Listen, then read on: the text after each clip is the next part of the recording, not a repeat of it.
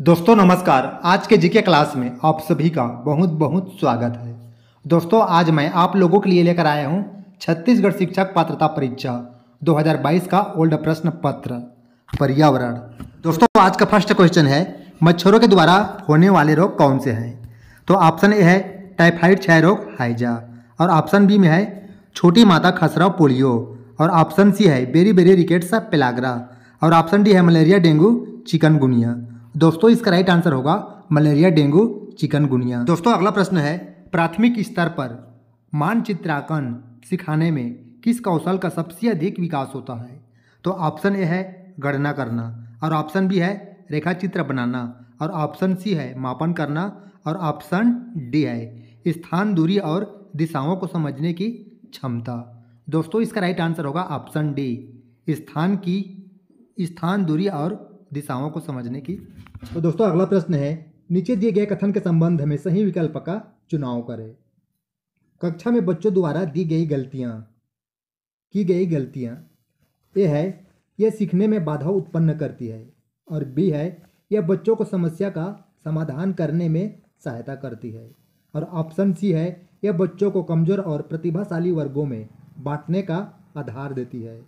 और option D है, यह सीखने में कमज़ोरी की परिचायक है। तो दोस्तों, इसका राइट आंसर होगा ऑप्शन बी ये बच्चों को समस्या का समाधान करने में सहायता होती है।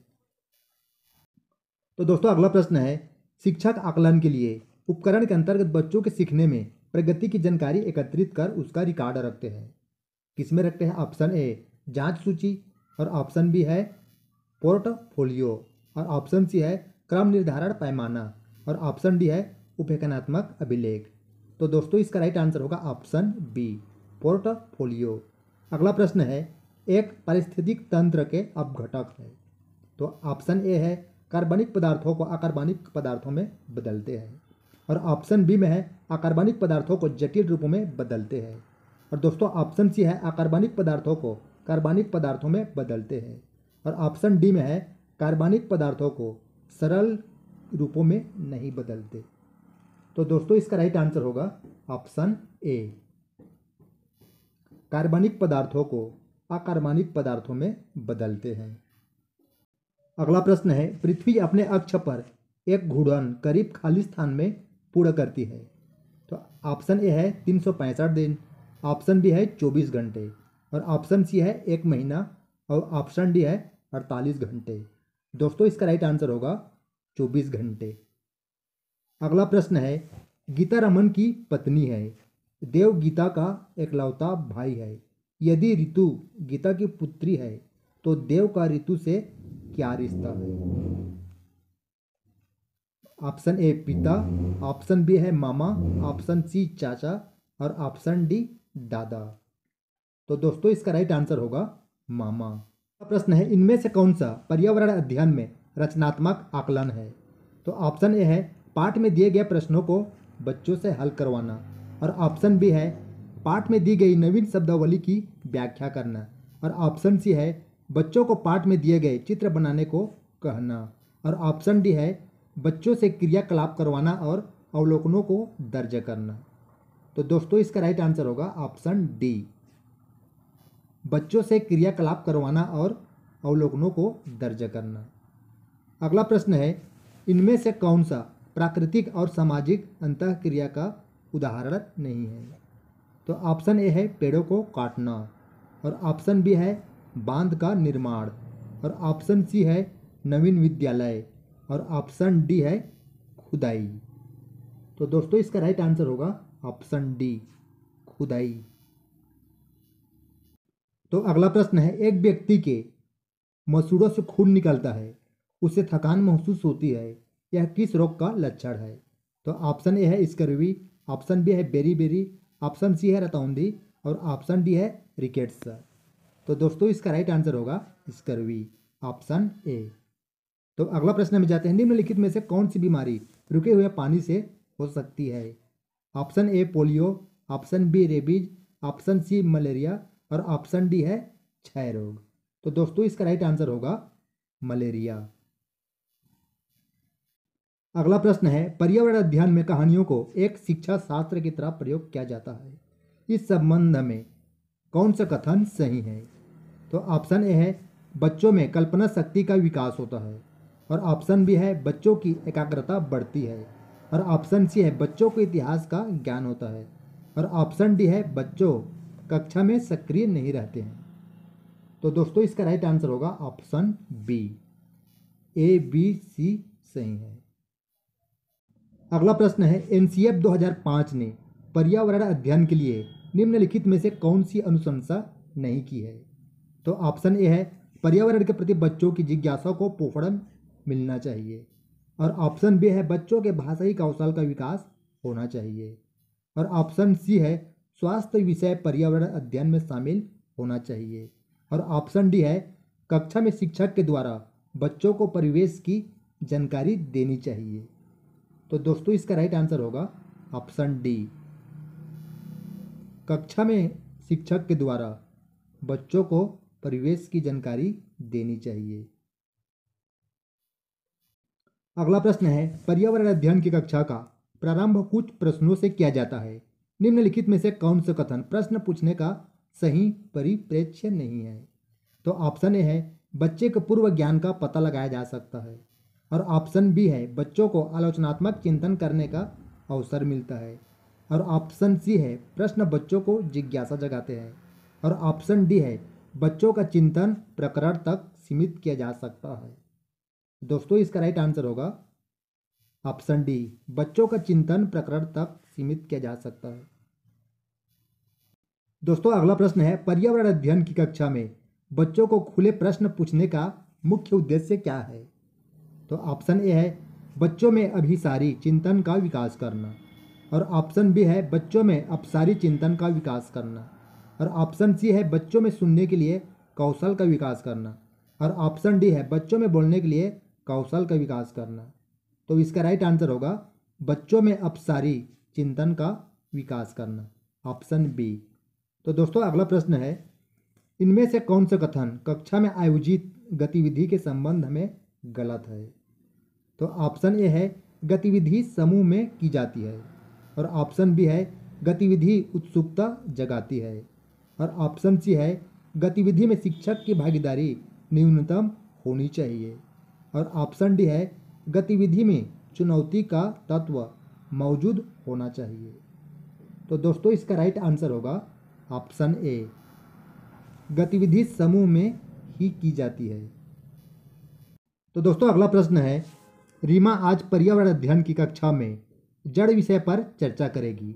वह इनमें से किस समूह की वस्तुएँ कक्षा में लेकर आएगी?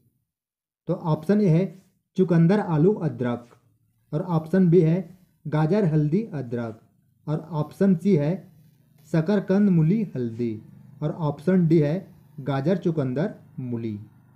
तो दोस्तों, इसका राइट आंसर होगा गाजर चुकंदर मूली। तो अगला प्रश्न में जाते हैं। वन के पारिस्थितिक तंत्र में कवक को किस समूह में रखा गया है? ऑप्शन ए है उत्पादक और ऑप्शन बी है उपभोक्ता, ऑप्शन सी है अपघटक और ऑप्शन डी है द्वितीयक उपभोक्ता।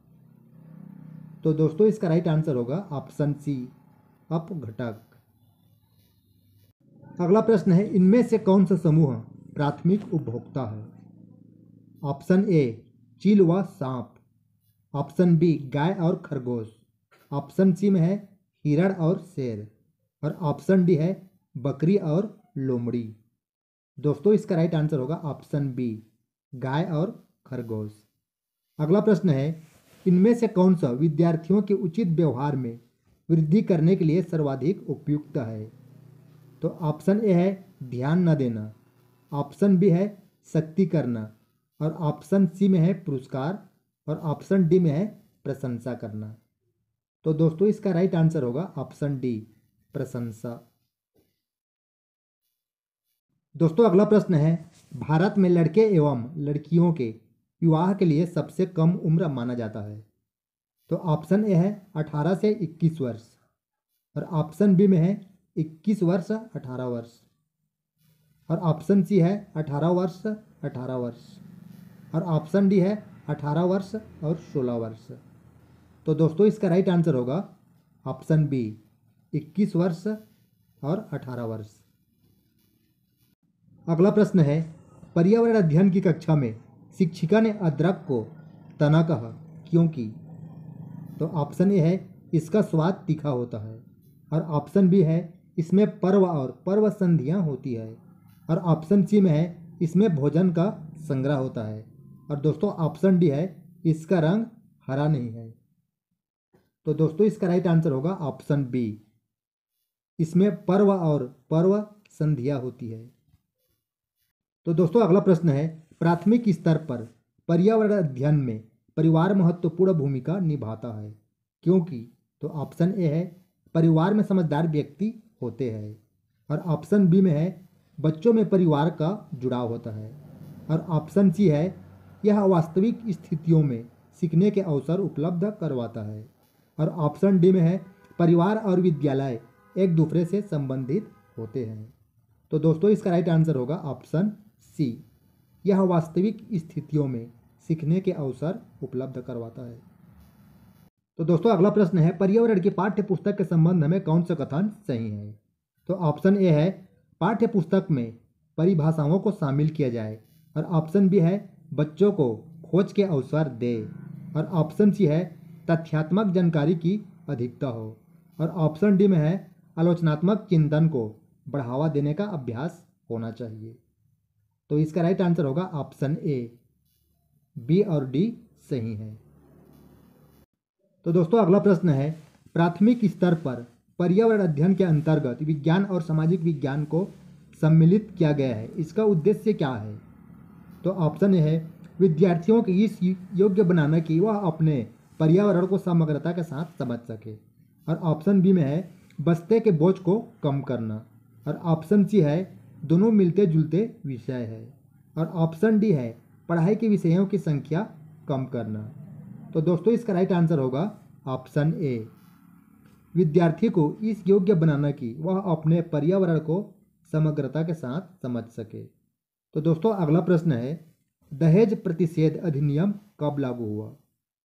तो ऑप्शन ए है, एक अप्रैल उन्नीस सौ पैंसठ और ऑप्शन बी में है, मार्च उन्नीस और ऑप्शन डी है, जुलाई उन्नीस सौ इकसठ और ऑप्शन डी में है 1970 तो दोस्तों, इसका राइट आंसर होगा, जुलाई 1961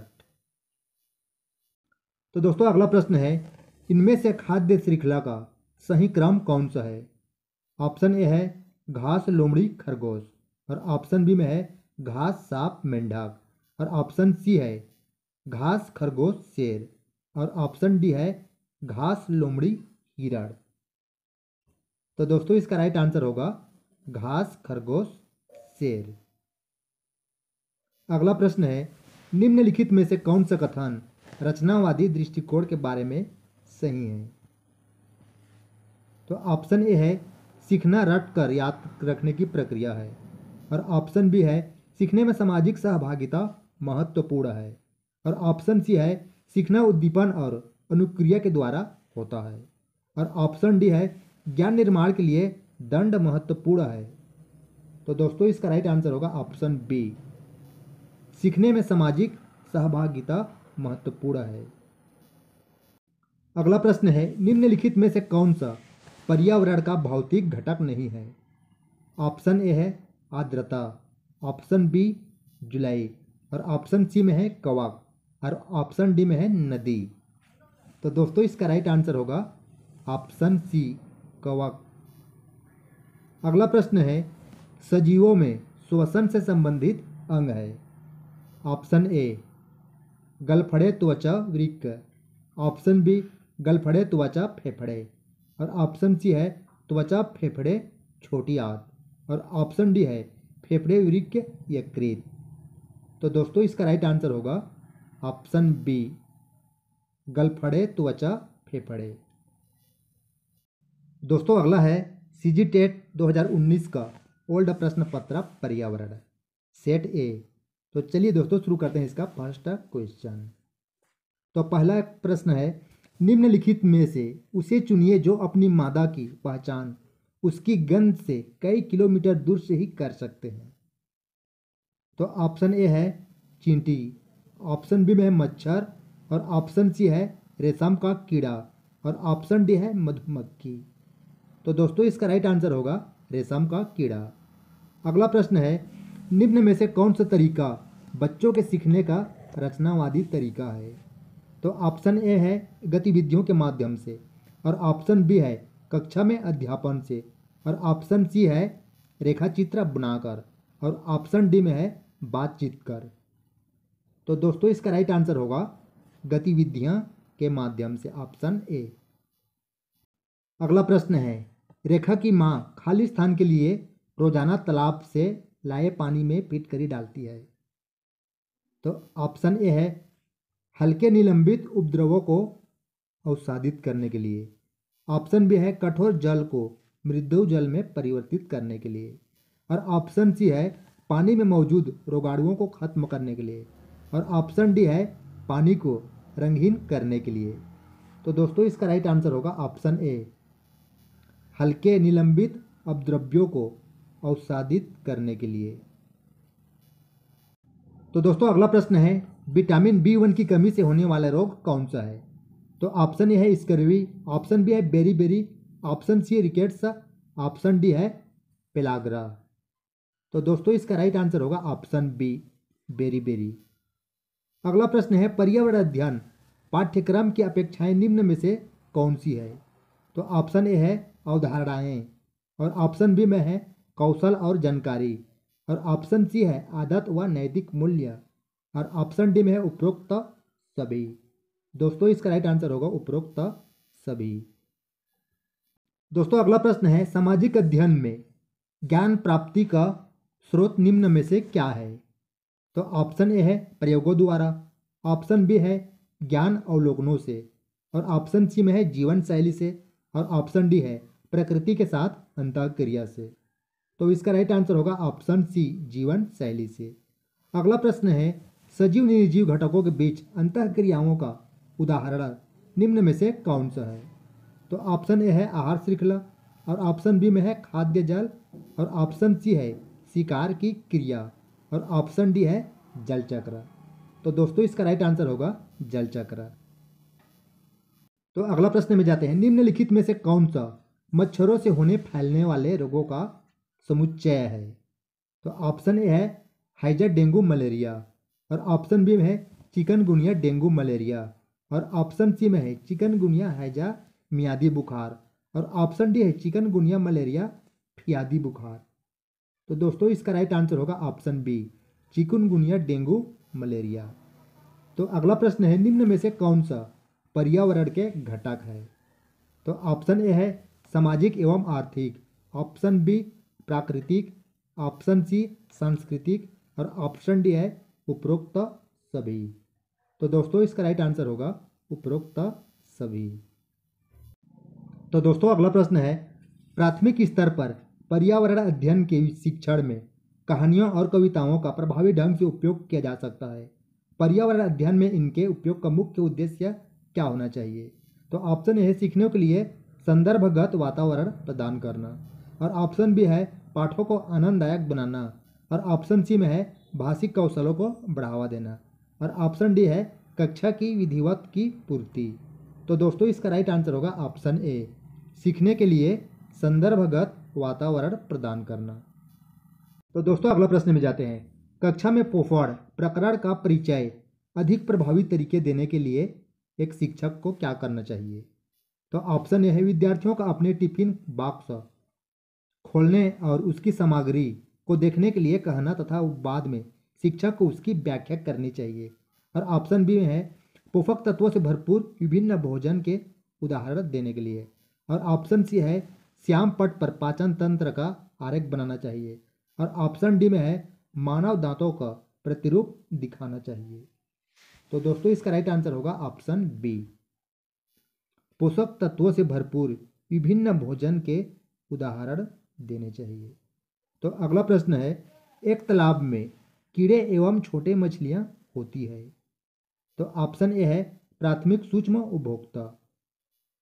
बी में है, द्वितीयक उपभोक्ता। और ऑप्शन सी है, तृतीयक उपभोक्ता। और ऑप्शन डी है, उपरोक्त सभी। तो दोस्तों, इसका राइट आंसर होगा ऑप्शन बी, द्वितीयक उपभोक्ता। तो अगला प्रश्न में जाते हैं ज्ञान निर्माण के संदर्भ में कौन सा कथन गलत है? ऑप्शन ए है, अनुभव की आवश्यकता का न होना, और ऑप्शन बी है, अवधारणा बनाना, बनना, और ऑप्शन सी है, अन्वेषण की विधियों की आवश्यकता, और ऑप्शन डी है, सत्यापन प्रक्रियाओं की आवश्यकता। तो दोस्तों, इसका राइट आंसर होगा ऑप्शन ए, अनुभव की आवश्यकता का न होना, ऑप्शन ए। तो अगला प्रश्न है दोस्तों सरकार द्वारा बाल श्रम रोकथाम अधिनियम का संशोधन किया गया था। तो ऑप्शन ए है सितंबर 2007 में, ऑप्शन बी है अक्टूबर 2006 में, और ऑप्शन सी में है जनवरी 2008 में, और ऑप्शन डी में है अक्टूबर 2009 में। तो दोस्तों, इसका राइट आंसर होगा ऑप्शन बी, अक्टूबर 2006 में। तो दोस्तों, अगला प्रश्न है, पर्यावरण अध्ययन के शिक्षक के रूप में आप विद्यार्थियों को चिड़ियाघर ले जाने की योजना बनाते हैं। वहाँ पर छात्रों को कौन सी एक्टिविटी, क्रियाकलाप करने के लिए अनुमति नहीं देंगे? तो ऑप्शन ए है चिड़ियाघर के प्राणियों के लिए ढेर सारा भोजन रखने के लिए। और ऑप्शन बी है चिड़ियाघर के प्राणियों द्वारा ग्रहण किए जाने वाले भोजन की जानकारी प्राप्त करने के लिए। और ऑप्शन सी है चिड़ियाघर में देखे जाने वाले प्राणियों के फोटोग्राफ इकट्ठा करने के लिए। और ऑप्शन डी है अपने साथ ड्राइविंग बुक रखने के लिए। ताकि चिड़ियाघर में दिखने वाले प्राणियों को चित्र बना सके। तो दोस्तों, इसका राइट आंसर होगा ऑप्शन ए चिड़ियाघर के प्राणियों के लिए ढेर सारा भोजन रखने के लिए। दोस्तों, अगला प्रश्न है, नींद लाने के लिए ली जाने वाली नारकोटिक औषधियाँ हैं। Option A heroin option B morphine और ऑप्शन सी है अफीम। और ऑप्शन डी में है उपरोक्त सभी। तो दोस्तों, इसका राइट आंसर होगा उपरोक्त सभी। तो दोस्तों, अगला प्रश्न है, बच्चों के सीखने की प्रक्रिया में शिक्षक की भूमिका निम्न में से क्या होती है? तो ऑप्शन ए है सक्रिय भागीदारी और ऑप्शन बी में है सहायक और ऑप्शन सी में है प्रेरक और ऑप्शन डी है मार्गदर्शक। तो दोस्तों, इसका राइट आंसर होगा सक्रिय भागीदारी ऑप्शन ए।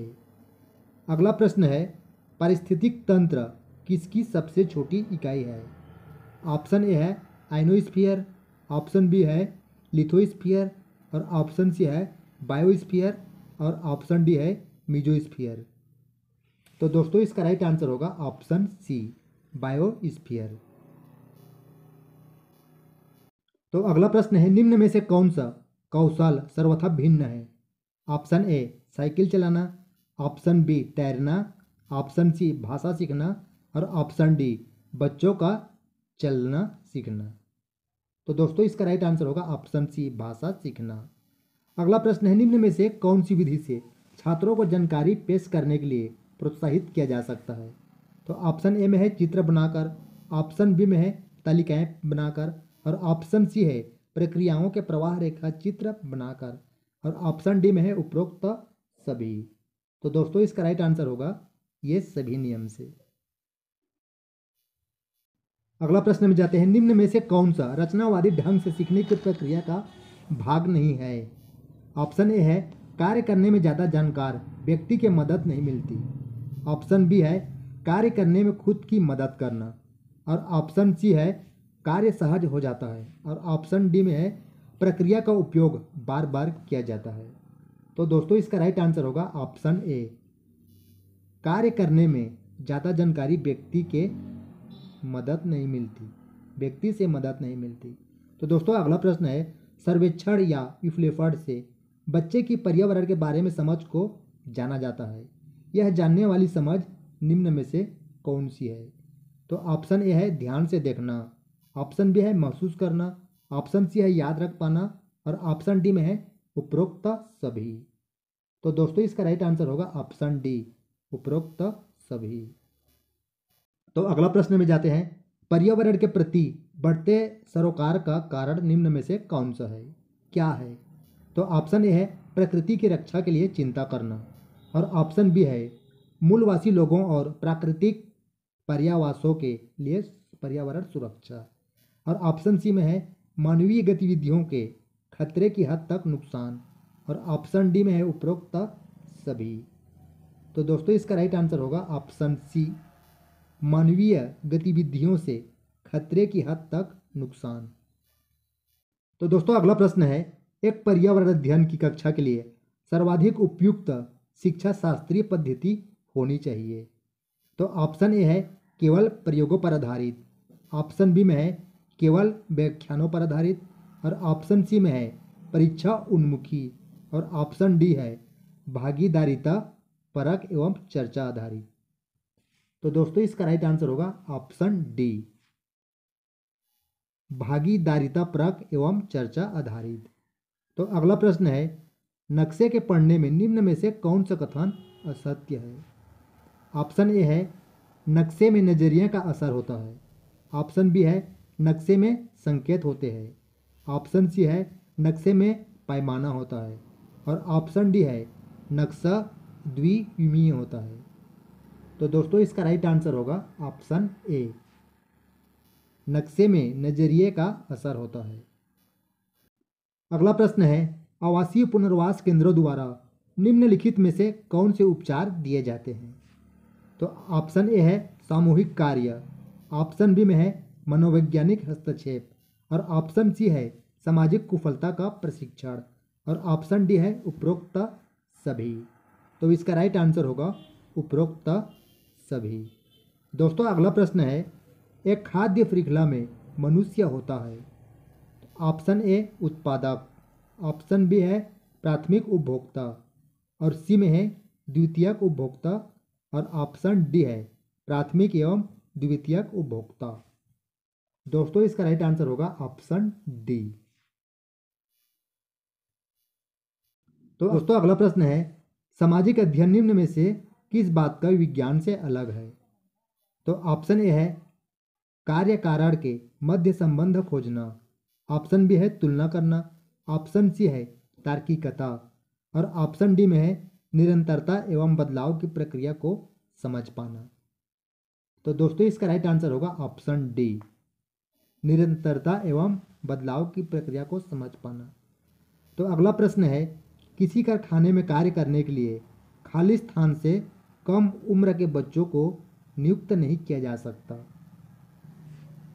ऑप्शन ए चौदह, ऑप्शन बी में है बीस, ऑप्शन सी है पंद्रह और ऑप्शन डी में है अठारह। तो दोस्तों, इसका राइट आंसर होगा ऑप्शन ए, चौदह।